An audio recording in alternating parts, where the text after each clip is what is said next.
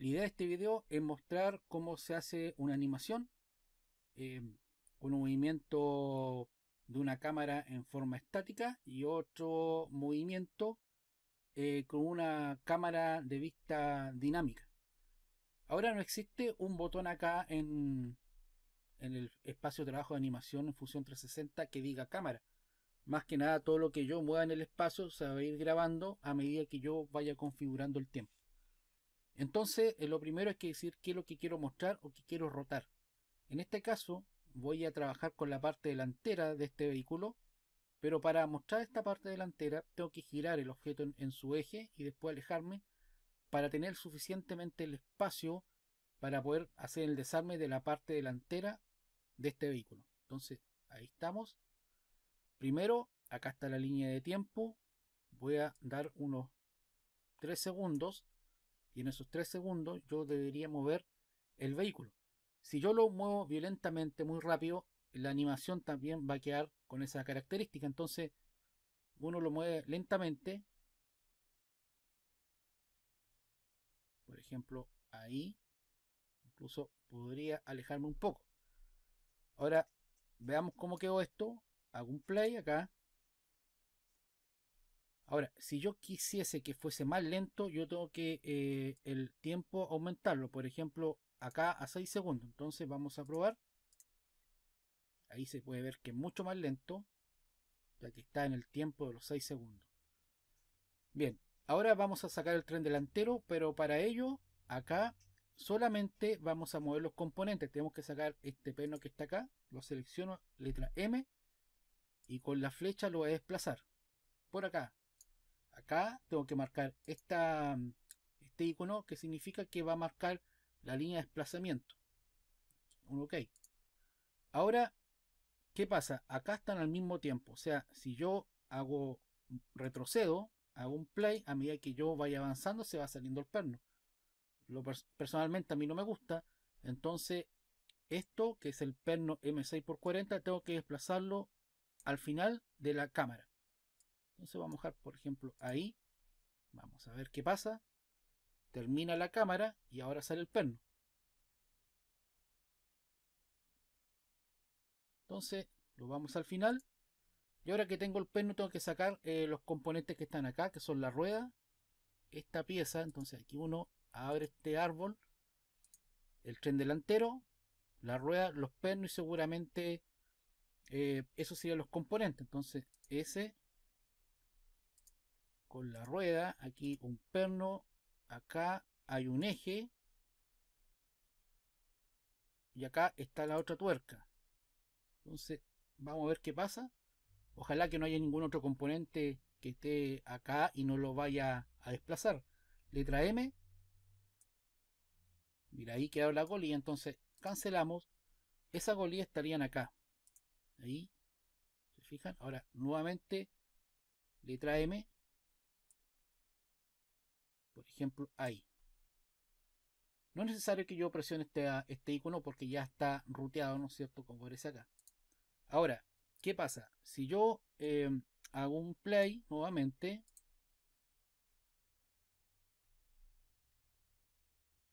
¿te fijan? Eh, hay, hay un choque virtual, lo cual no es bueno.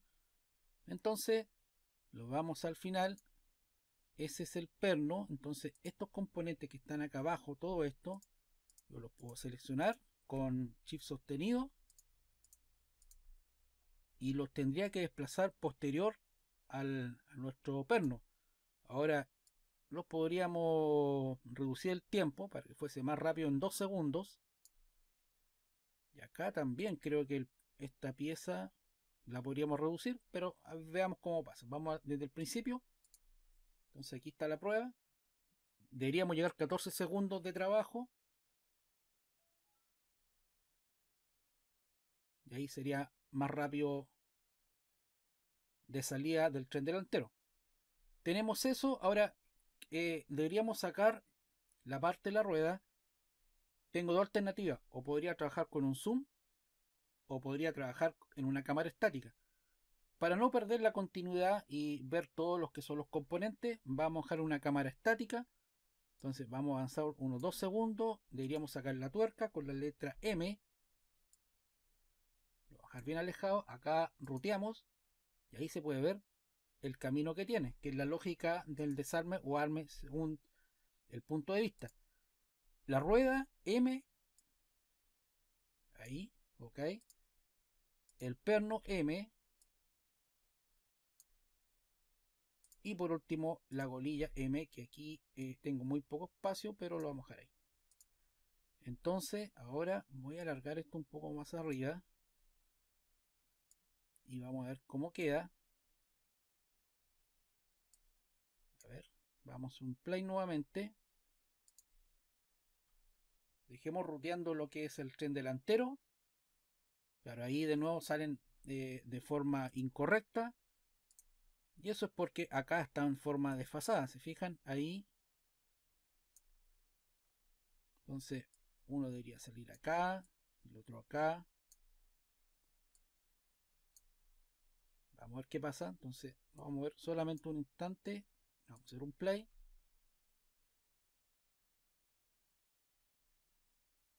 Ahí me equivoqué porque tiene que salir la tuerca primero. Entonces, esos son los errores que hay que evitar. Entonces, ¿cómo arreglamos eso? Acá, claro, aquí tengo la tuerca. Esa es la tuerca, entonces esa tiene que estar acá. Está acá. Entonces ahora vamos a probar.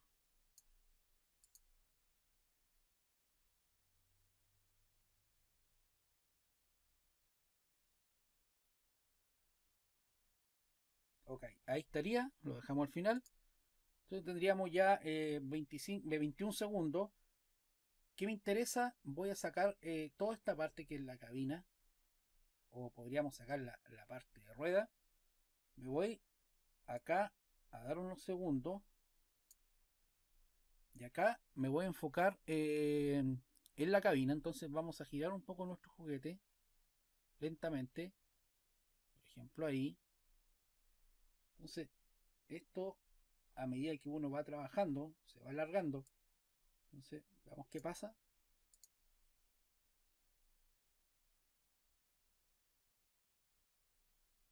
Claro, ahí la rueda sale del, cuadro. Pero lo importante es que después queda al final. Entonces, em, sirve bastante. Voy a alargar esto hacia arriba del cuadro. Para ver dónde estoy. Ok. Y ahora vamos a sacar todo lo que es la cabina, todo esto, pero lo vamos a sacar como un todo. Entonces, alargo acá, ya llevamos 30 segundos, sería el, en este caso la trasera de la cabina, ¿no es cierto? Soporte, ahí me equivoqué, soporte. Faltaría este, que es la cabina en sí. Entonces, M acá marcamos la ruta. Y ok. Entonces vamos a ir acá solamente.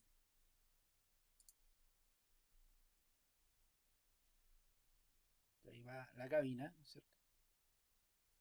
bueno acá en la cabina es bastante sencillo porque eh, vamos a desprender eh, la parte trasera de la cabina. Entonces vamos a darle los segundos letra M ahí, ok. Está el rodeo automático. Otros segundos más. Vamos a sacar. Acá vamos a sacar solamente el techo porque se entiende que e, estos tarugos que están aquí son los soportes. Ok, y que bastante corto, entonces vamos a probar acá cómo está quedando.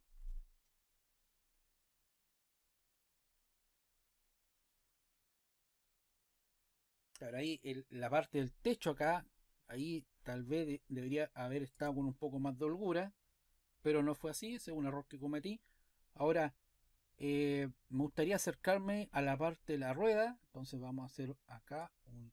Cuando es movimiento dinámico hay que darle una buena cantidad de tiempo y me voy a acercar acá despacio. Ahí. Entonces vamos a ver cómo quedó esto, no sé cómo quedó ese desplazamiento. vamos a acelerar. Ahí, veamos qué pasa.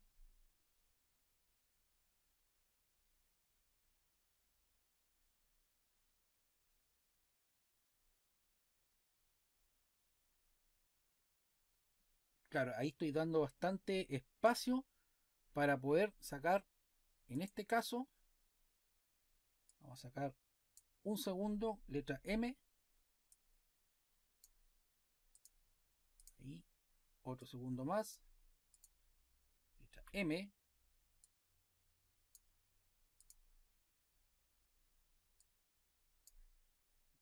Tal vez quede muy rápido, pero vamos a ver qué pasa. Entonces aquí me está molestando ahí el... Ese, esa pieza que está ahí. Me molesta. Ahora, si yo hago esto, fíjense, automáticamente se genera una cámara. Entonces, mira. Vamos a ver. Porque moví el scroll del, del mouse. Entonces, vamos a ver cómo quedó el efecto. Ahí hay un movimiento que fue involuntario, lo vamos a suprimir. Lo vamos al final. Es porque me está marcando el, eje.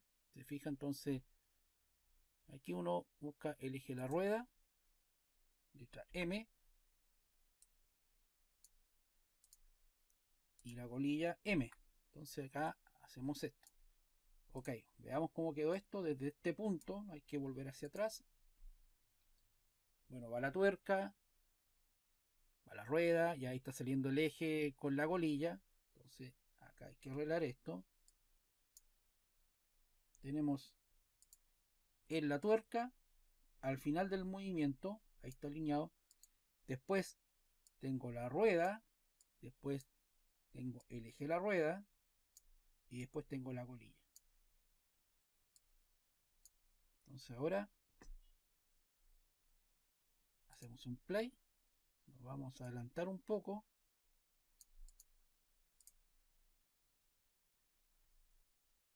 tal vez la parte de la cabina está muy lento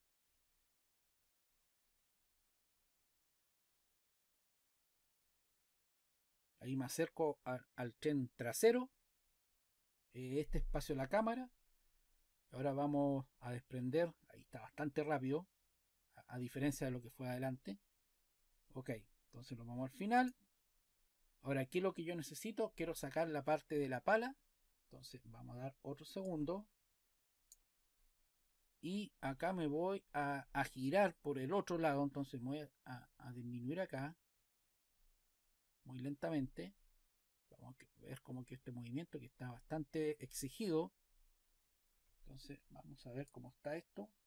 Tal vez quedó demasiado rápido.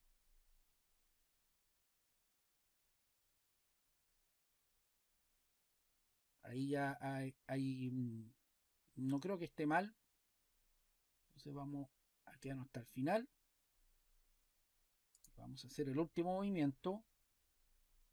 Entonces, acá lo que vamos a jugar, voy a mover todo eh, de una sola vez. Voy a dar dos segundos y después alineamos los, tiempos. M. Entonces vamos a darlo así. Y después lo vamos a dejar hacia adelante. Entonces, ¿qué pasa? La línea está en diagonal, entonces usted tiene que marcar acá para que siga el rastro. ¿Ok? Después viene un, un tarugo aquí. Esta pieza.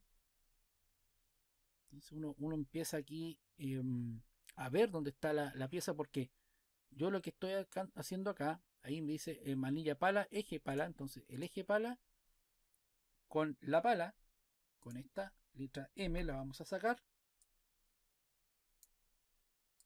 y después que tengo eso voy a dar otro segundo acá para hacer un acercamiento a esta zona entonces ahí lo vamos a dejar así despacio. Ok. Va otro segundo y vamos a sacar la pala con la M. Vamos a probar cómo quedó esto. Entonces los vamos. Nos tenía tiempo acá. Vamos a probar ahí. Entonces podemos rectificar algo si quedó malo.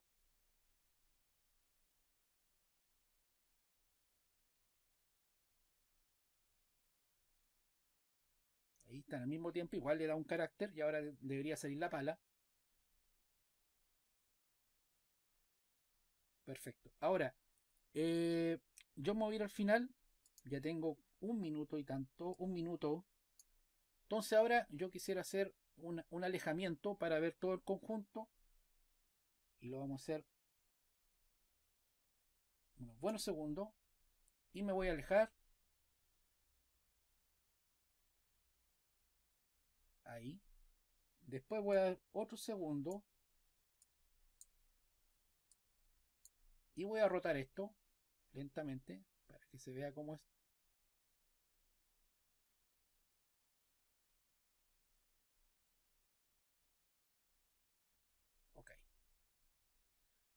Entonces ahora lo vamos al final. Vamos a hacer un, pantalla completa. Y vamos a ver qué pasa. Ahora el, el azul mm, habría que sacarlo. A mí no me gusta mucho, pero eso es fácil de hacerlo. ¿Qué es lo que falta acá? Que las tuercas, los pernos y las ruedas giren al momento que avancen. Yo tengo un, un, video en mi canal donde aparece cómo se hace esa, ese efecto. No lo voy a hacer acá para que vean el video, obviamente.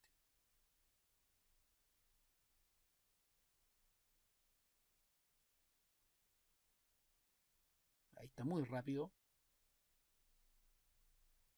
Pero lo importante es que no se cruzan las piezas, que es un detalle. No puede haber un choque virtual.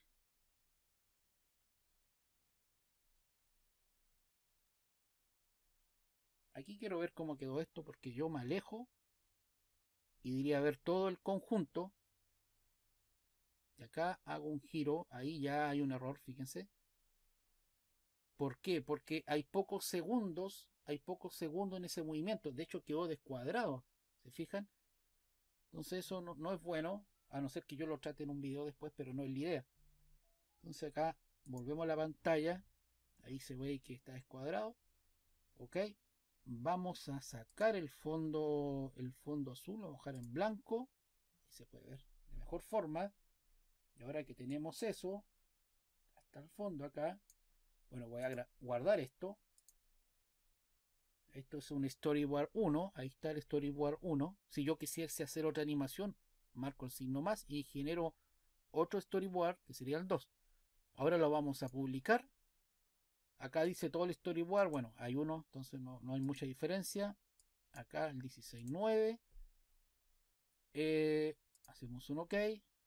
Lo vamos a guardar directamente acá en el escritorio. Entonces, ahí. Y ahí se va a empezar, obviamente, a hacer el render. Vamos a ver cómo queda esto.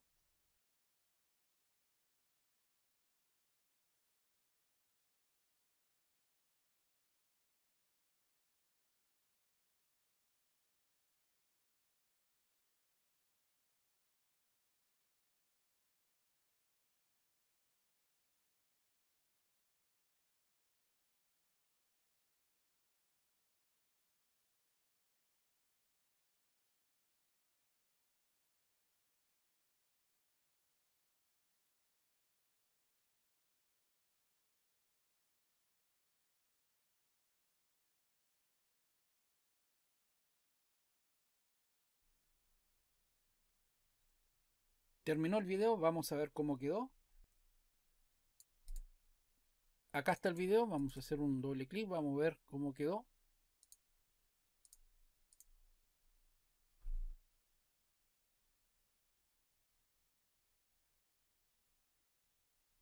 Ahí se pueden ver que hay unos bordes que están mordidos o pixelados. Pero hay que recordar que el, Fusion 360 no es em, es un software de edición de video ni de captura. La idea es que se entienda, entonces acá se puede ver cómo gira. es una cámara estática, ¿no es cierto? La otra era la, dinámica, ahí está en dinámica nuevamente. Ahora, claro, aquí está con colores eh, asociado a un color cíclico. Si nosotros quisiéramos trabajar con textura, obviamente relacionadas con el material, se puede hacer.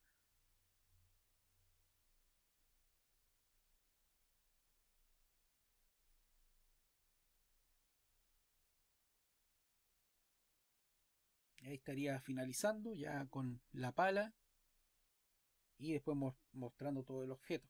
Acá yo creo que lo que cometí el error no fue centrar todo el objeto en relación al marco. ¿Se fijan? Ahí también fue muy violento y aquí hay un espacio eh, muy grande, entonces igual no queda bien. A no ser que yo después lo trate en, otro, en otro software y pueda colocar tal vez algún texto o podría colocar un, texto dinámico que vaya avanzando a través del video. Pero bueno, eso sería todo. Gracias por su atención.